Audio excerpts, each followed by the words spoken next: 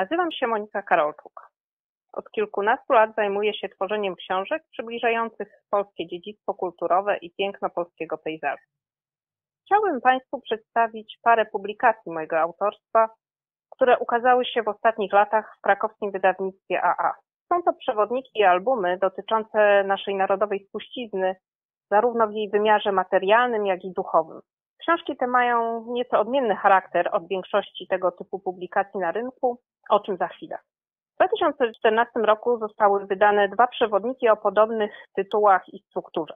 Jeden to 101 miejsc świętych w Polsce, a drugi to jeden skarbów historii w Polsce. Pierwszy to całkowite nowum na naszym księgarskim rynku, gdyż jest to przewodnik po głównych miejscach kultu religijnego w Polsce. To jedyna wówczas dostępna książka obejmująca tak szeroki wachlarz katolickich miejsc kultu. Zdarzały się wcześniej publikacje poświęcone wyłącznie sanktuariom maryjnym albo na przykład miejscom świętych mm, różnych wyznań, ale tak obszernego przewodnika po miejscach świętych dla katolików nikt wcześniej nie napisał.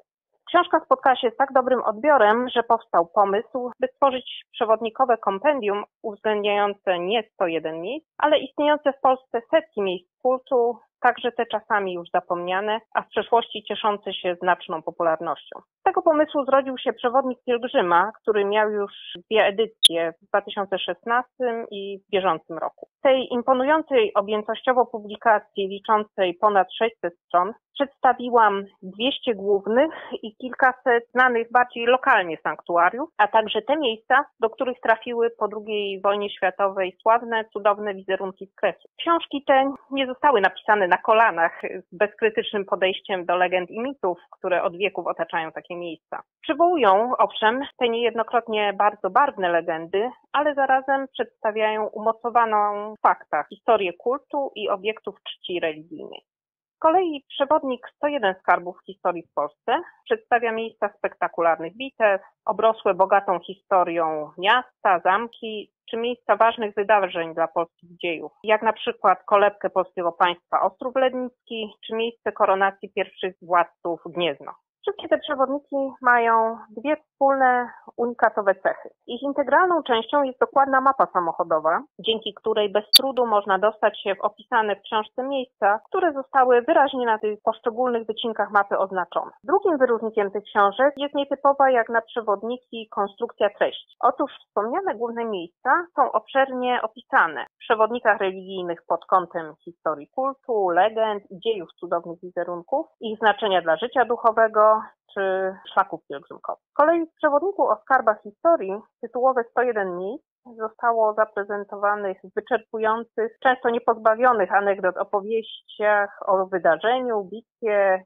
budowli, która odegrała istotną rolę w naszej historii i z którego to powodu miejsce to zostało w książce uwzględnione. Pojawiają się tu także rozmaite ciekawostki i informacje o odbywających się współcześnie w danym miejscu wydarzeniach. W przypadku miejsc kultu te informacje dotyczą najważniejszych uroczystości, dorocznych pielgrzymek, a w przypadku przewodnika historycznego mówią o organizowanych cyklicznie festynach archeologicznych, historycznych, inscenizacjach bitew, czy też rekonstrukcjach oblężeń. Przewodniki nie ograniczają się tylko do tych wspomnianych głównych miejsc. Na trzy kolumny, na które jest podzielony tekst na każdej stronie, jedną zajmują opisy miejsc znajdujących się w pobliżu wiodącego tematycznie obiektu. W przewodnikach religijnych są to zarówno inne sanktuaria, jak i miejsca znane ze względu na cenne zabytki, ciekawą przeszłość historyczną czy wyjątkowe walory przyrody, jak na przykład parki narodowe.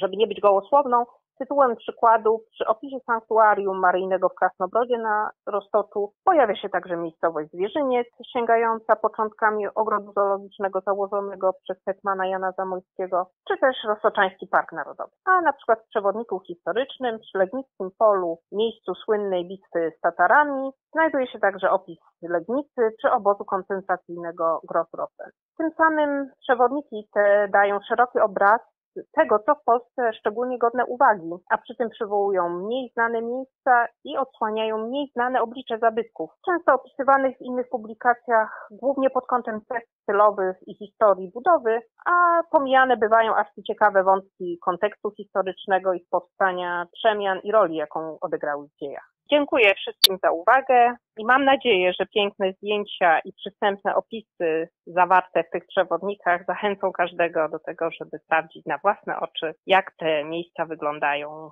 w pejzażu Polski.